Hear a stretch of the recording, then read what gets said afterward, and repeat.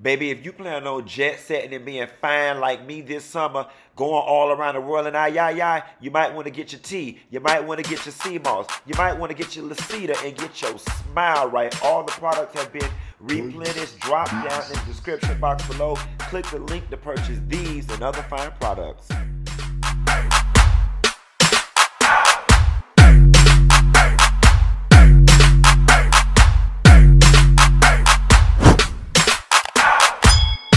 Lord, I've been up for I've been up for several hours now, and I forgot I'm supposed to be damn travel vlogging. Anyway, the chef is back, and he's made this wonderful breakfast for us. Everybody is still getting ready to get up and get down here. We're supposed to. Yep, there go people now.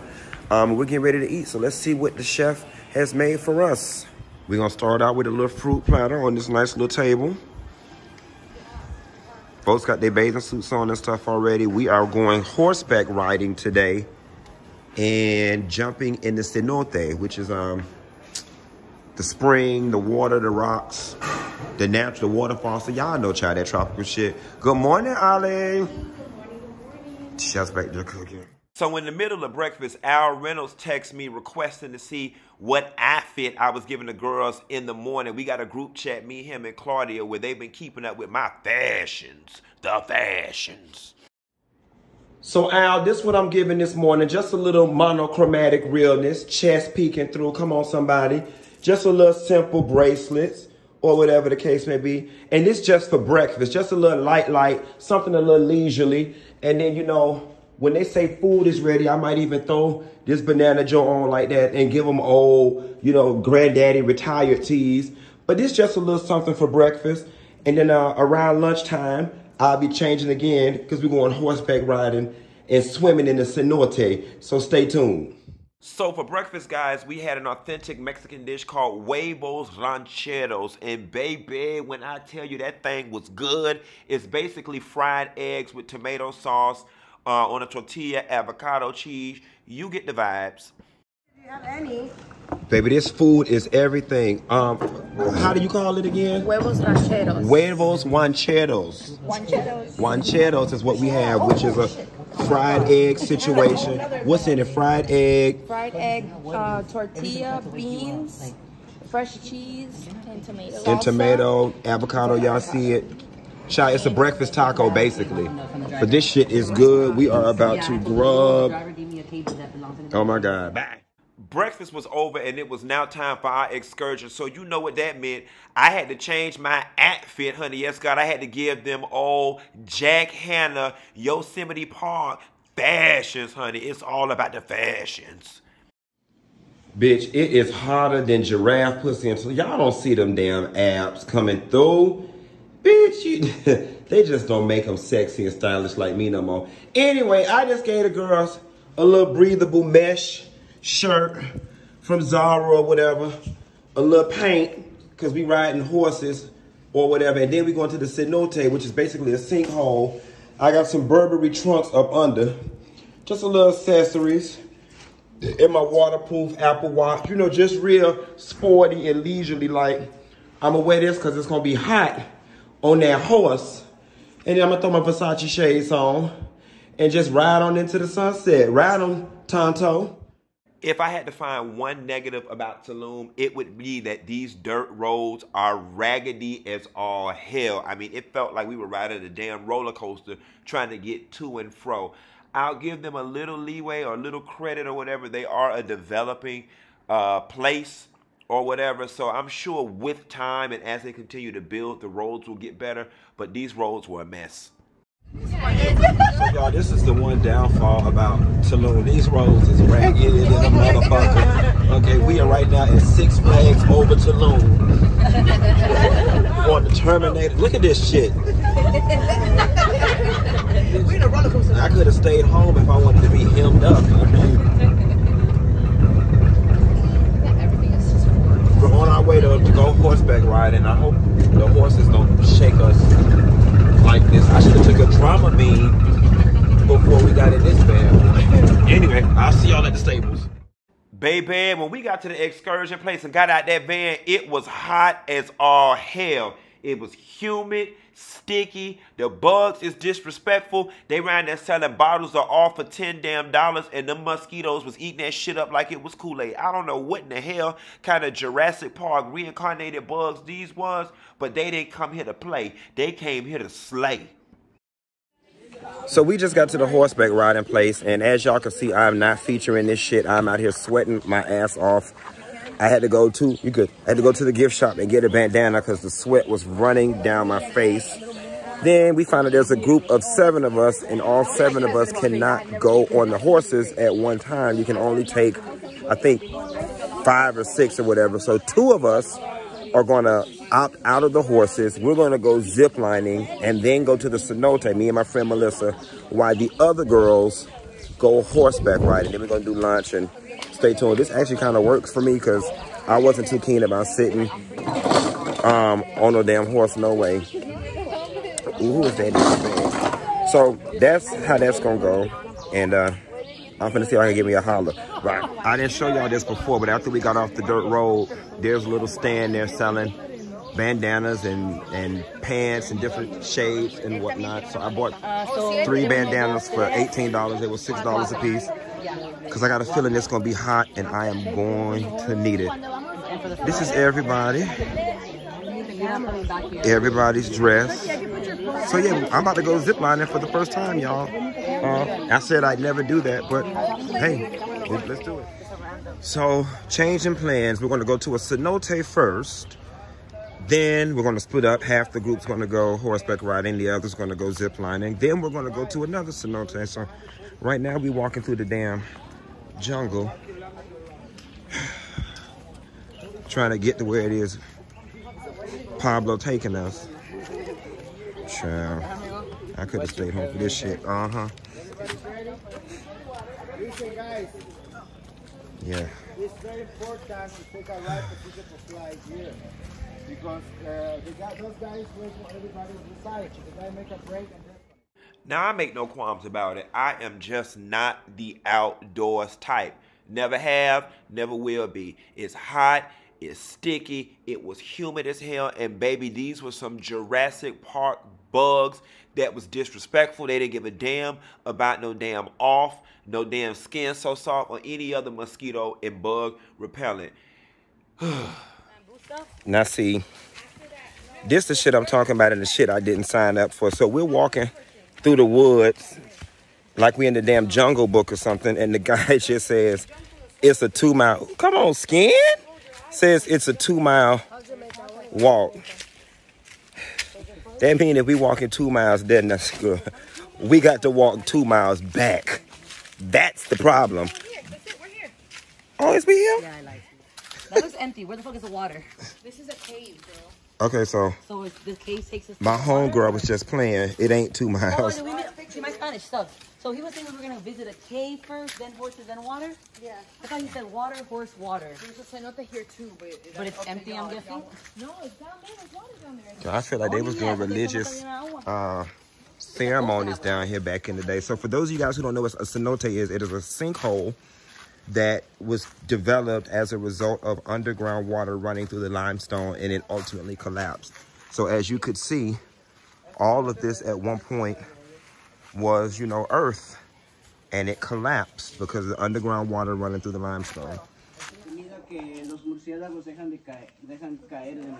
So we are walking down into the cenote. Shanky talking about there's piranhas in here. There's no piranha. Oh. Right, you have a good one? It's the little fishies. Oh, the little fish. Oh, no, cat has a good one. Whoever got the better phone. Make sure that you're alive. The little fish that eat your dead skin off your feet are in here. Water. Is it cold? Checa, ocupas que te... Alright, let me turn this off real quick, y'all. No, I haven't felt one yet, but I'm sure I will. Child, I can't believe what y'all got me out here doing. Now this shit right here was a straight setup. Here it is. I thought we were just going to basically get in the pool. I didn't know that we were going to go on a cave tour walking through this cold ass water. Yo, this water is so cold. natural ass shit. This is like. put That shit in my face. And now I'm at the point where I have to. Fuck, I don't like being cold, and the fact that we're doing a tour, which requires us to have to walk through here, I have no choice but to get in. So I'm gonna do it in increments. Ooh, ooh shit, bitch. Do you eventually get warm? Yeah, I'm not cold anymore. I'm not as cold anymore. All right, that's a girl. I'm gonna hit y'all back after I get my body acclimated to it. No flash. Come on, man. I hate this. I hate this. So it's funny because I just got in the water, and after the initial oh, shock. Uh, um, gotcha. Gotcha. Oh shit, girl, y'all got me. They're talking about no flashes, bats, and shit. Girl, get me out this shit.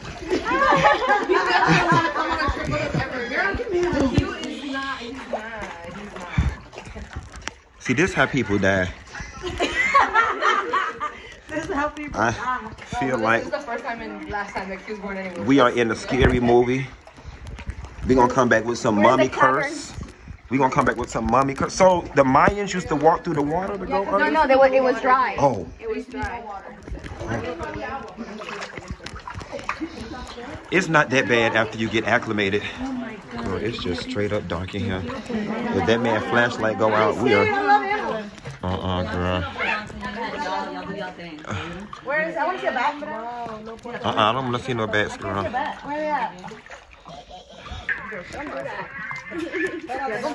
Uh-uh, girl. They're like dogs, bro. You know they're friendly like dogs, like bats. They're not really. Wait, you take your ass to the front of the line there.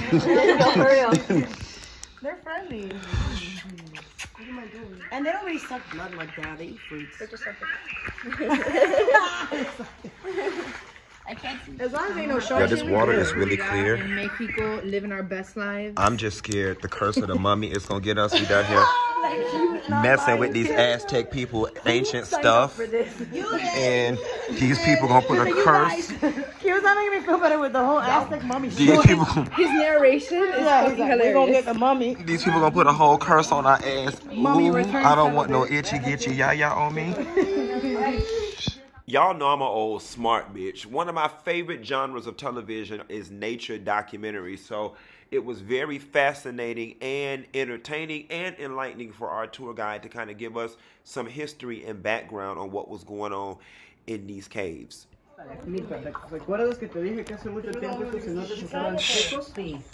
Eh, lo que es el estalatita, al, al estar la superficie seca, va dejando igual que el calcio, va dejando calcio, pero va creciendo de abajo hacia arriba. Y se forman lo que son columnas. Estas son sustentos del cenote para que no se venga hacia abajo el cenote. Ale? So Okay. basically, it's a pillar. Like this one grew instead of from up down, it grew from down. Oh, oh wow. Yes, okay. It's called something different. Okay. When it's like stagnant. Columns, like a column. Yeah. So, guys, our tour guide told us that this is calcium growth. It only grows one centimeter every 100 years, and that if we cannot touch it, because our pH balance will throw it off, and 100,000 years will easily fall off in the water because the, the balance is off. That's why we ain't got no business down here in these ancient people stuff, disturbing them. God forgive me. So now we're walking. We got to a place where we Oh, can Also, these are the roots that are coming from the trees above us. Who are drinking the water. Here. Yeah. Wow. Mother Nature is amazing. Wow, so they got the trees got an endless supply of water.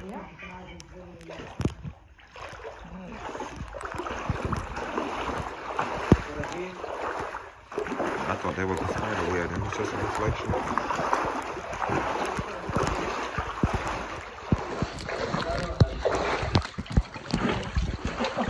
Careful here, guys.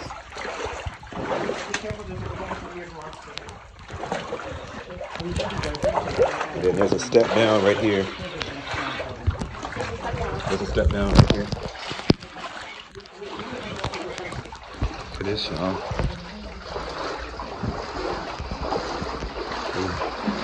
Child, I see light at the end of the tunnel. Yes, I do. that is so beautiful. That is so beautiful. Oh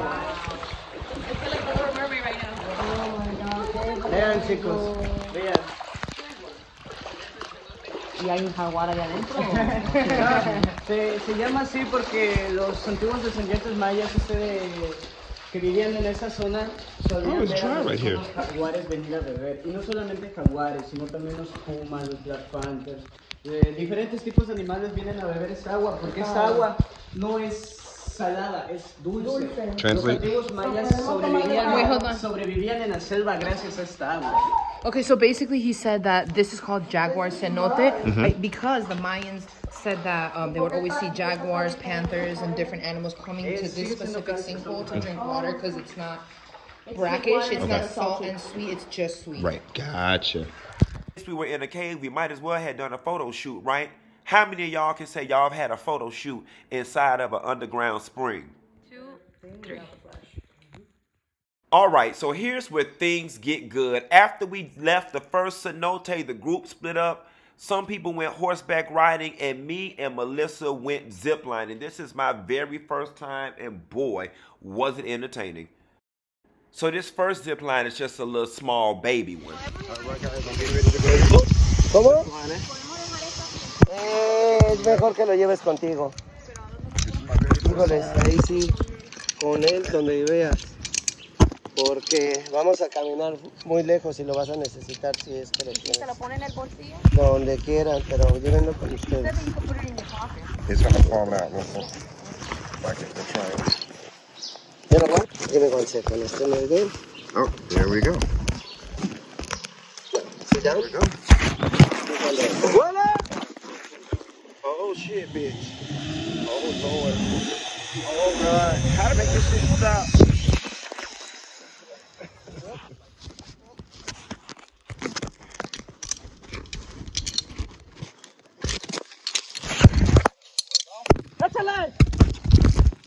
So you guys missed my first zip line because the phone was turned around as I was coming down. But it's probably for the best because I was nervous and squealing and I wasn't really paying attention during the safety class and I didn't know how the shit was gonna stop and I wasn't sure if I was supposed to do something or not. Good thing I wasn't. So stay tuned for the second zip line from much further up and then I think we do a third from even much further up. So Melissa catches me coming down from zip line number two, which was just like a little medium one.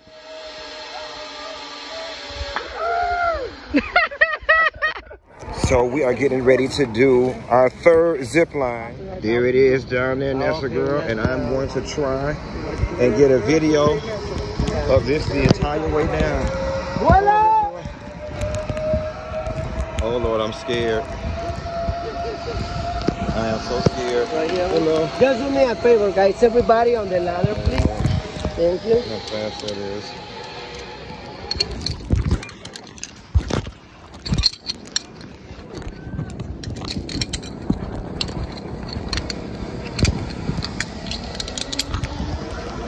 Muy bien. Have a seat.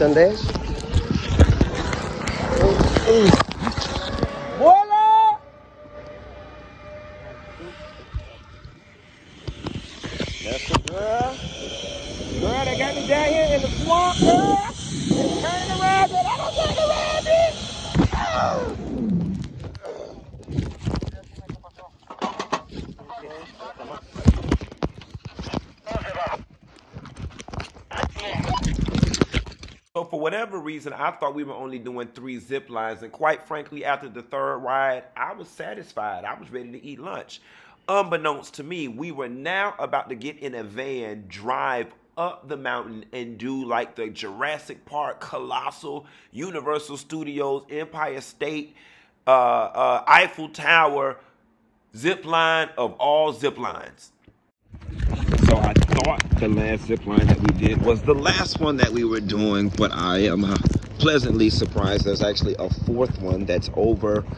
Uh, I don't know. He said it's super duper tall. We actually had to get in a van to come here to drive up the mountain. He said it's 150 steps and it's one kilometer down, and it's a long, hard ride. So, uh, oh boy, y'all are in for a treat. And let me mention, he said if you're scared of heights, that at this point there's just nothing you can do because there's no other way back down other than to zip line. So they actually had to split us up into two groups, I guess because of weight restrictions. All of us couldn't go up the tower. So half the group is going. The other half of the group, we are kicking it in hammocks. Hey, Melissa girl. She can't get in. Don't fall, bitch. I want some chips or something. And I ain't even got no money. My money in the locker. They take Apple Pay? I doubt they take Apple Pay. we get a little time to reflect. I will say today, being in Tulum has definitely pushed me out of my comfort zone. Y'all know I don't do things with nature. I don't believe in skydiving and zip lining and all that type of stuff. I typically take all my risk on the ground. Um, but I'm glad that I did it. We got another cenote that we're supposed to be getting in after this. To be quite honest with you, after I did one, I don't necessarily have to do the other one. Um, but I think because of the way the schedule is set up, I kind of have no choice. And it's not like they've got a, a, a air conditioned lounge or something around here that I could kick it in. So, um, yeah, I just do another cenote. I don't know if I'm gonna record that because I'm trying to preserve my battery, but y'all get y'all life because I'm damn sure getting mine. Our guide just called for us to come up. So we're getting ready to walk up. See y'all at the top. So on the climb up, shit got real. I uh, basically began to have a panic attack as I got higher and higher up the, the, the, platform. I did not know that I had a fear of heights. I still don't think I do. I was more concerned with the sturdiness of this structure because look at the shit. It's built with logs and sticks and, and, and God knows how they affix the shit up there. Knowing these foreign countries, they probably put the shit together with super glue. I definitely know that this shit would not pass any type of building code in the U.S. There was no safety nets up under this thing. And so I had to psych myself out and begin just looking at my feet and not the world around me to continue to make it all the way upstairs. So I had to pause at one minute on these steps because I was about to have an anxiety attack. They look real rickety. I, uh, me too. I had to, me too. That's why I had to start breathing and started looking at the ground and not the, but uh, now they're on this solid platform, I'm better. Me too. It was those fucking rickety ass I was stairs. looking down through the holes and I was like, yeah. And I also can't breathe I was because just I'm out of like, shape. this is, this is scary. And it got windy and I was like, Yes. Oh Lord. And now, oh God. I- We're a long way from Miami, baby. Look at this. Breathtaking, but I don't have to do this again. I can check this off my bucket list.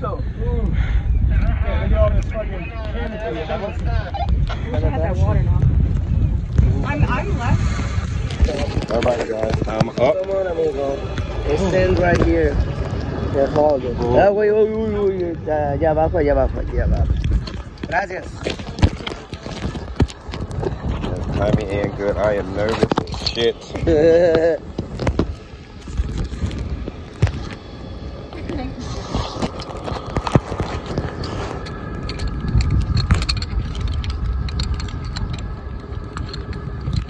And the only way down is to zip line.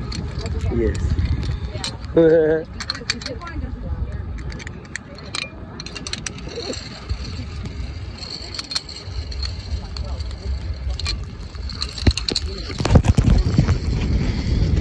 Coméntalo, Evolution, coméntalo. Sit down. Lean back. Lean back. Lean back. Feet up. One, two. Oh Lord. Oh, that's a girl. That's a girl. Girl. Ooh, the wind blowing me. Oh, it's breathtaking. Oh. She said lean back. I hope y'all can see this. Ooh, girl. The wind got me. She said, ooh, bitch. Ooh, that's girl. Girl. The wind got me. The wind. The wind don't burn me.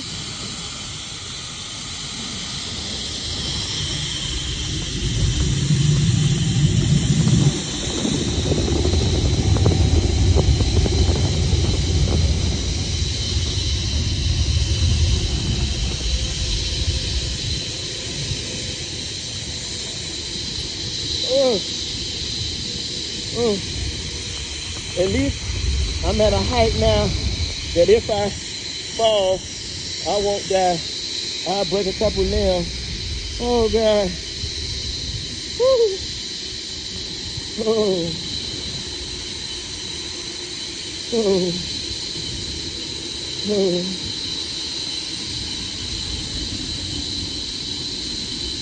Oh, my shit feel like it's stopping and I'm gonna get stuck.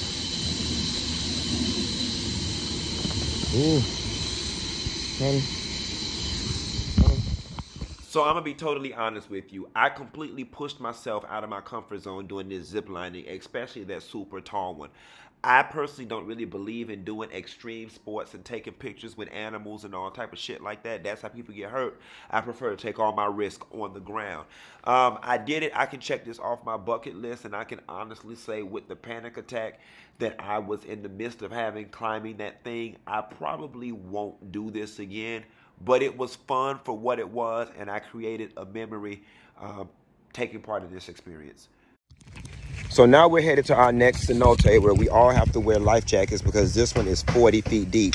A bitch thought we was gonna get lunch before we did this and I'm hungry as all hell. So I got a bag of chips from the gift shop. These hoes just gonna have to get into it. Um, and then we're gonna have a nice dinner at the house. Luckily, I got enough battery left on this phone, I think, to catch this cenote, the 40 feet one. So I'll be back hollering in this ice cold weather. Child, by the time we got to this next cenote, I was over it. It's like a party. If you've been to one, you've been to them all. Uh, I didn't believe that there would be anything in this one much different from the other one that we were in. So I decided that I was not going to do the tour. I was just going to sit down. But the ladies wanted to take a picture, so we all got in the water, and that is where this picture that I'm using as my transition graphic was taken.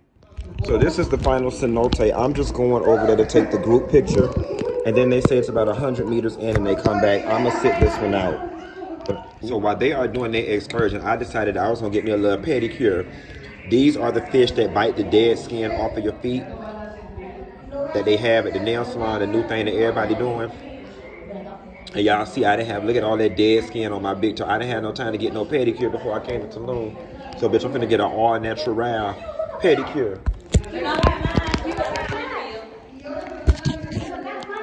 Oh.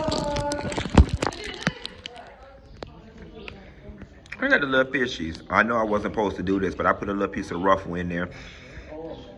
And the fish eating it. It's natural though, it's biodegradable.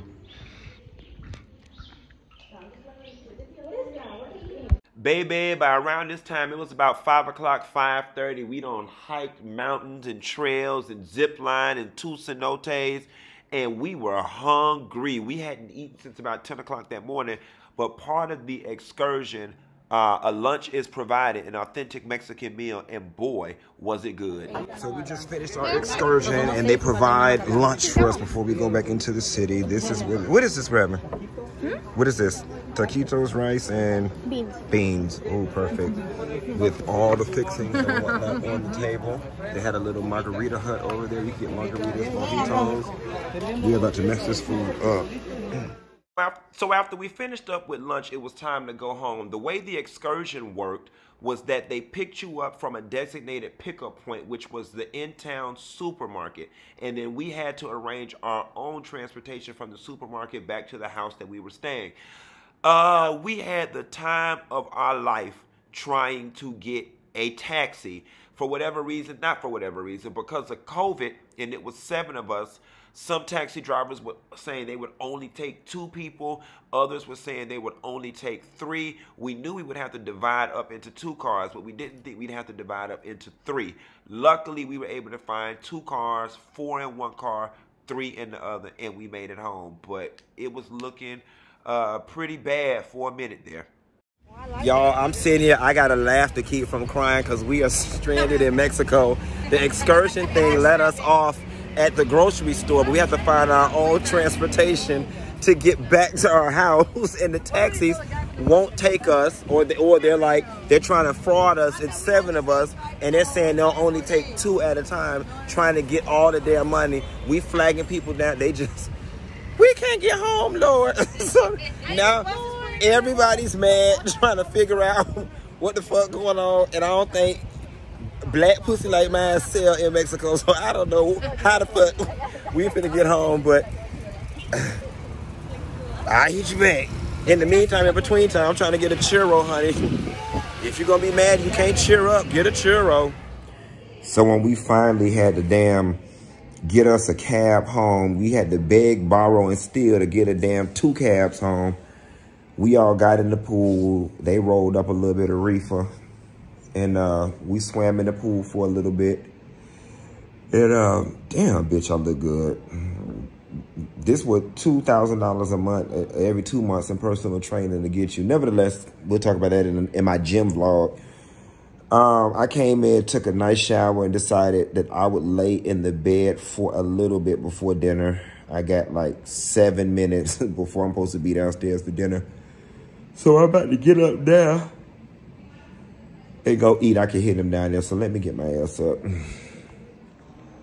So it's four minutes to nine when I'm supposed to be downstairs. I wonder if they started eating without me. Let's see.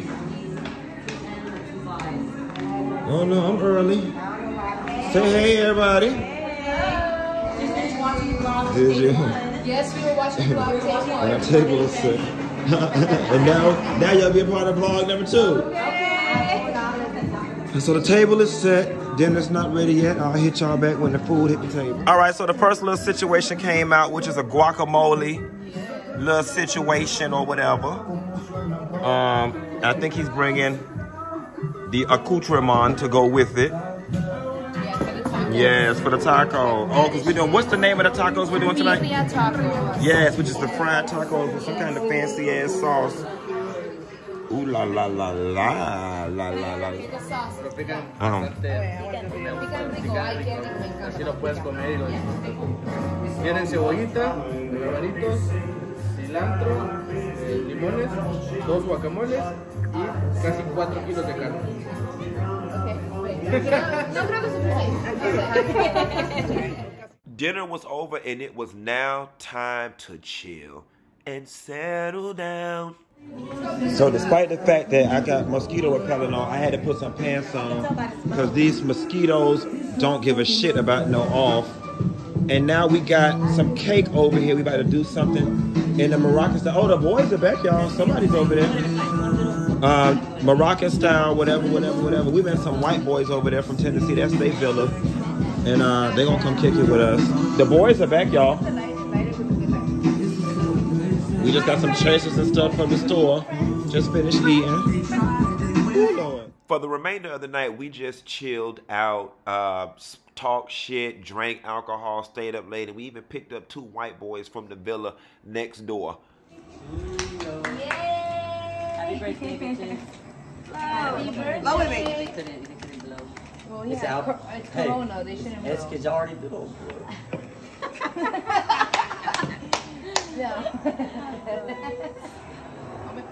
Oh, I like that That one. was cute. Like that. So That was cute. You want me to turn the music back up? Yeah. Now, so I had to turn the music down so they could sing happy birthday to the girls. And there is an iPad that the people left us back here that controls the whole place. But bitch, let me tell you, I was looking for a printer earlier this morning, and I came back here these people office. Bitch, I found all this motherfucking liquor. Yes, God, honey, I'm gonna drink these girls out of the house home by the time So after I found that crate full of liquor, bitch, I had done got drunk and ain't record nothing else for the rest of the night. But there really was nothing to record. We just chilled out in that little area. We played Uno. We played a couple drinking games one by one. Everybody got drunk and went to bed. Me and one of the white boys was the last two up. We stayed up to about five that morning. Then I eventually went to sleep. And this concludes day two of my trip to Tulum.